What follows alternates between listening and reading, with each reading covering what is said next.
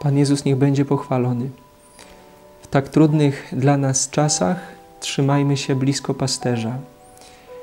Kochani, to słowo ogromnie mi zapadło w sercu i myślę, że pomaga mi bardzo mocno w tym rzeczywiście dla nas trudnym czasie być blisko pasterza. Być blisko pasterza, czyli karmić się tym, co do nas mówi pasterz, a pasterz do nas nieustannie mówi. A pasterz karmi swoje owce pokarmem słowa, które każdego dnia dostajemy w obfitości. Jeśli w tych dniach szukamy obecności Pana, popatrzcie, to możemy to uczynić. Każdy z nas ma Biblię na półce i każdy z nas może posilić się tym pokarmem. To, co robimy, to jest, myślę, coś bardzo sensownego. Te rekolekcje, to zatrzymanie się nad Słowem, to bycie blisko Pana, bycie blisko pasterza, to jest powrót do początku. Popatrzcie, na początku było Słowo, a Słowo było u Boga i Bogiem było Słowo. Jeśli dzisiaj pytamy o Pana, jeśli dzisiaj pytamy o obecność Pana w naszym życiu, w naszej historii, w kontekście, w którym się znajdujemy, to nie ma piękniejszej odpowiedzi jak, jak słowo na ten czas, na ten moment, w którym się znajdujemy.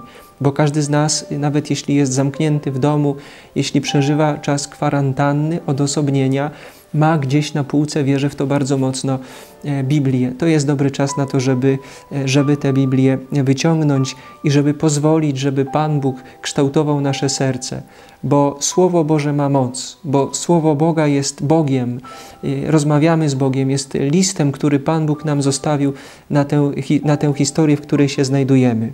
To jest jedna rzecz, a druga jest taka, że wierzę w to jeszcze bardziej mocno, że Kościół, nasza kochana Matka, daje nam słowo na dziś. Zawsze dostajemy słowo na dziś, jak na talerzu, przygotowane pięknie. Jest pierwsze czytanie, jest przepiękny psalm, jest drugie czytanie, jest Ewangelia, którymi możemy się karmić. Kościół, jako nasza matka, mówi: Dzisiaj karm się tym słowem, niech ono ci wystarczy. To jest odpowiedź na kontekst, w którym się znajdujesz. A więc, chcąc być blisko pasterza, pozwólcie, że będziemy dzisiaj słuchać dalej Słowa Bożego.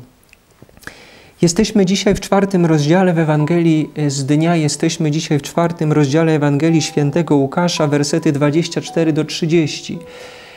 Ale chciałbym dla zrozumienia tego kontekstu, dla zrozumienia tej sytuacji, tego co dzisiaj się będzie działo w tym słowie, byśmy cofnęli się troszeczkę kilka wersetów wcześniej. To znaczy do początku, do początku można powiedzieć tego wydarzenia, bo to wydarzenie ma pewien swój kontekst. My jesteśmy w świątyni, ale ten, to wydarzenie już wcześniej działo się w świątyni i ona było poprzedzone tym, że Pan Jezus wziął zwój księgi i otworzył słowa proroka Izajasza. I przeczytał to proroctwo, Duch Pański spoczywa nade mną. Znacie ten, to proroctwo, znacie ten tekst bardzo dobrze. I mówi tam takie jedno zdanie. Dziś wypełniły się słowa, któreście usłyszeli. Ja teraz parafrazuję, bo nie mam tego tekstu przed oczyma, mam e, tylko tę Ewangelię z dnia dzisiejszego, ale e, chcę, byśmy wrócili. Dostaniecie też e, link do szerszego, do szerszego kontekstu tego, tego słowa, tak byście mogli też sami spotkać się z tym słowem. I popatrzcie, co się dzieje.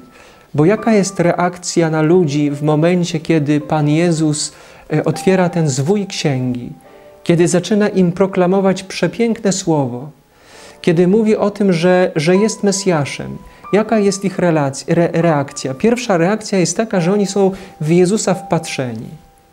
Bo kiedy słucha się Słowa Bożego, kiedy słucha się piękna Słowa Bożego, oni są wszyscy pod wrażeniem. Oni są, Jezus czyta Słowo z mocą, stąd są pod pewnym wrażeniem, ale Wiemy, że tak się zaczyna, że oni są właśnie pod wielkim wrażeniem, są wpatrzeni w Jezusa, ale dzisiejsza Ewangelia kończy się tak, że ci sami ludzie za chwilę biorą Jezusa gdzieś, chcąc go zrzucić w przepaść. Więc rodzi się pytanie, co jest pomiędzy tym, tymi momentami, powiedzmy sobie bardzo krótkimi momentami, tak? bo moment od kiedy Pan Jezus przeczytał ten fragment z Izajasza do momentu, kiedy chcieli go strącić, jest zaledwie, nie wiem, czasowo trudno powiedzieć, ale to jest jakiś taki króciutki wycinek czasu. Co się stało pomiędzy jednym a drugim? I odpowiedź jest jedna. Pan Jezus mówi tak. Dziś spełniły się słowa, któreście usłyszeli i mówi tak, że te słowa, one nas zapraszają do konkretnej postawy. Te słowa, któreśmy usłyszeli, zapraszają nas do tego, byśmy dali odpowiedź. I teraz jaka jest ta odpowiedź? Odpowiedź dla nich była bardzo burząca, bo Pan Jezus mówi tak, odwołując się do Starego Testamentu, mówi tak: Wiele wdów było w Izraelu za czasów Eliasza, kiedy niebo zostawało zamknięte przez trzy lata i sześć miesięcy, tak, że wielki głód panował w całym kraju, a Eliasz do żadnej z nich nie został posłany, tylko do owej wdowy w Sarepcie Sydońskiej. I dalej, i wielu trędowatych było w, Izraelu za proroka Elizeusza, ale żaden z nich nie został oczyszczony, tylko Syryjczyk Naaman. Co chce nam powiedzieć Pan Jezus, powołując się na wdowę z Sarepty Sydońskiej i na proroka Naamana? Chce pokazać, że jego mesjaństwo, że Mesjasz, którego oczekują, jest posłany nie tylko do narodu wybranego, ale jest posłany także do pogan. Że Bóg i działanie Boga wymyka się spod ich y, oczekiwań. I tutaj rodzi się, kochani, problem, ponieważ y, ludziom wydaje się, że wiedzą coś o Panu Bogu. Ludziom wydaje się, że wiedzą coś o Panu Bogu. Y, kiedy Pan Bóg zaczyna działać w swój sposób, rodzi się problem. Ilu z nas dzisiaj wie y, na przykład to, że to, co się dzieje dzisiaj w świecie, jest karą za, tylko karą za nasze grzechy że to, co się dzieje dzisiaj, jest, nie wiem, zbliżającym się końcem świata. Oczywiście zawsze żyjemy w czasie paruzji musimy o tym pamiętać i być zawsze na, tym, na to przygotowani, ale jest inne pytanie. Pytanie jest takie, czego my słuchamy? Pytanie jest takie, czym my się w tym wszystkim karmimy? Jest pytanie, czy my chcemy rzeczywiście słuchać Boga, który mówi z mocą, tak jak mówi Jezus w swoim słowie. Czy my gdzieś mamy w sobie jakoś poukładane pewne schematy i my wiemy, jak Pan Jezus, jak Pan Bóg musi zadziałać w życiu? Czy nie mamy w sobie jakichś takich różnych schematów, tak? Y, my wiemy o Panu Jezusie wszystko, nie? Powiedzieli tamci w, w świątyni. Wiemy, z jakiej pochodzi rodziny, wiemy wszystko o Józefie. Czy nie jest to y, zwyczajny syn cieśli? Co on nam tu będzie mówił? Rodzi się tutaj taka właśnie mm, wątpliwość, która ostatecznie, popatrzcie, rodzi, do, y, rodzi oburzenie w nich. Do tego stopnia, że chcą go strącić. I jest przepiękne słowo tam pokazane, że Pan Jezus przechodzi pośrodku nich. Że Pan Jezus przechodzi pośrodku nich. Pośrodku nich. Popatrzcie, najpierw przyszedł do Nazaretu. A więc przyszedł do swoich. Nazaret to jest jego rodzinne miasto.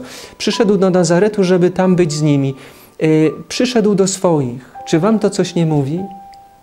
Czy w tym czasie Pan Bóg, Pan Jezus nie chce przychodzić do nas?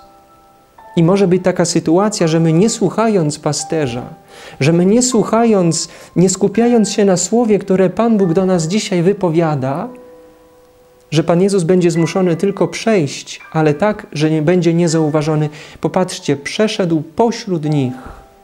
To znaczy, Pan Jezus może dzisiaj przechodzić przez środek Twojego domu, ale Ty będziesz skupiony na wszystkich innych możliwych czynnikach, na proroctwach, na przepowiedniach i tak dalej, i tak dalej, na tych wszystkich takich nadzwyczajnych rzeczach. A Bóg będzie w środku Twojej historii, w środku Twojej sytuacji. I skupiając się na tych wszystkich rzeczach pobocznych, jest pewne ryzyko, że może nawet sobie nie zdajesz sprawy, ale gdzieś w sercu masz pragnienie, żeby zepchać Boga żeby zepchać Boga. Bracia i siostry, to słowo jest dzisiaj bardzo poważne i bardzo mocne.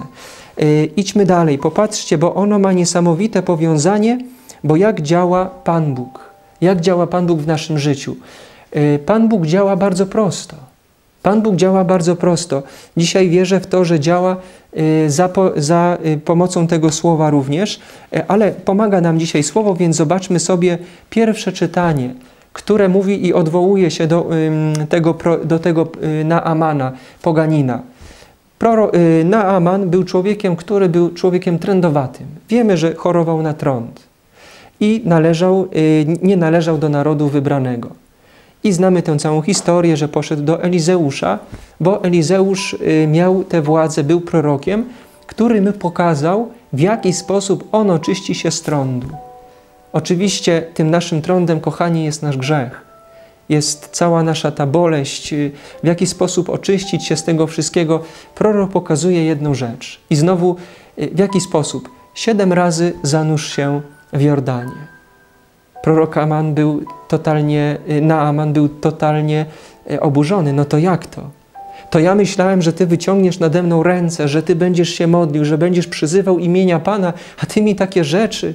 To ja musiałem przechodzić pół świata, żeby nie było innych rzek w moim świecie, w które mógłbym się zanurzyć. Dlaczego musiałem przyjść tutaj?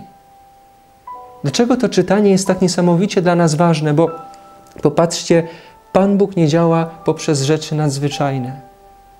Pan Bóg działa w rzeczach najprostszych. I pierwszą rzeczą, o której chcę powiedzieć, a co do której e, mam pewność, że Pan Bóg działa, to jest posłuszeństwo. To jest posłuszeństwo, być posłusznym Ojcu Świętemu, być posłusznym pasterzom Kościoła i być posłusznym, popatrzcie, to jest największa rzecz, to jest naprawdę wielka rzecz i broń, którą mamy dzisiaj w Kościele. Rzecz bardzo prosta. Posłuszeństwo. E, dalej, kolejna rzecz, prosty znak, zanurz się siedem razy.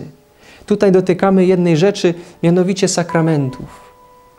Proste znaki, popatrzcie, e, tam gdzie dzisiaj nie możecie namacalnie korzystać z sakramentu, wiem, że to jest wielki ból, ale e, wczoraj dostawałem również różnego rodzaju maile, różnego rodzaju wiadomości o tym, że ta niedziela była bardzo trudną niedzielą, ale wyjątkową.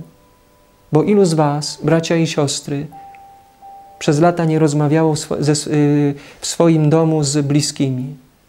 Wczoraj pierwszy raz być może w życiu porozmawialiście o pytaniach, które są dla Was w życiu ważne. Pytaniach, które dotyczą Jezusa. Z serc wielu naraz gdzieś e, spadły te wszystkie, wiecie, e, nawet jeżeli w domu mamy kogoś, kto ma problem wiary, a ty wczoraj włączyłeś telewizor, bo zobaczyłeś i ktoś zobaczył w tobie pragnienie spotkania Jezusa Eucharystycznego, bo do tej pory było tak, no wychodziłeś za drzwi, dobrze, poszedłeś, ja mam swój świat, nie wiem o co idzie, nie wiem, ale zostałeś wczoraj z cierpieniem w domu, z pragnieniem Jezusa. Popatrzcie, y, ile osób wczoraj spotkało się ze sobą, ile osób spotkało się wokół osoby Jezusa. Bo myślę, to też jest bardzo ważne. Kolejna rzecz to jest to, musimy o tym pamiętać, że Kościół też jest sakramentem. Że jest siedem znaków, siedem sakramentów, ale w takim szerszym znaczeniu też Kościół jest również sakramentem, jest widzialnym znakiem niewidzialnej łaski Bożej. A więc też Pan Bóg też działa swoją łaską poprzez Kościół i w Kościele. Trzymajcie się blisko pasterza. Trzymajcie się blisko swoich pasterzy. Trzymajmy się blisko Ojca Świętego, który bliżej nas już nie może być. Nie wiem, czyście wczoraj widzieli te przejmujące zdjęcia, kiedy papież Franciszek e, szedł e, przez ulice miasta, które jest opuszczone przez nasz kochany Rzym. Szedł papież, e, w, można powiedzieć, jako pielgrzym Pielgrzym, który niósł nasze modlitwy, nasze troski, widać było to zatroskanie wielkie pasterza o swoje owce, niósł przed cudowny krzyż, a potem do Matki Bożej Santa Maria Maggiore. To jest przepiękny obraz tego dzisiaj, kochani, jak Kościół jest sakramentem. Jak Kościół jest sakramentem. I ostatnia rzecz, którą chcę powiedzieć, to jest to, to jest zawsze słowo. Tak zaczynałem tę konferencję, tak, je, tak ją skończę. Słowo, bo ostatecznie wiemy, że tym, co y, uzdrowiło Naamana, było posłuszeństwo słowu Eliasza. Posłuszeństwo słowu proroka Bożego. Proroka, który wypowiadał się w imieniu Boga. I to jest, kochani, bardzo ważne. Mamy te piękne rzeczy dzisiaj, które możemy wziąć do serca, możemy je medytować. To jest posłuszeństwo to są sakramenty, w tym Kościół też jest sakramentem, pamiętajcie, a więc też y, właśnie życie według ducha Kościoła i dalej idźmy, to, jest, y, to są sakramenty, y, to jest Słowo Boże. Jeżeli weźmiemy sobie te wszystkie rzeczy do serca, to na pewno nie zginiemy. To będzie się w nas rodził pokój w Duchu Świętym, w mocy Chrystusa, który jest z nami i działa, i żyje i króluje na wieki wieków. Amen. I niech Pan Bóg Was błogosławi w imię Ojca i Syna i Ducha Świętego. Amen.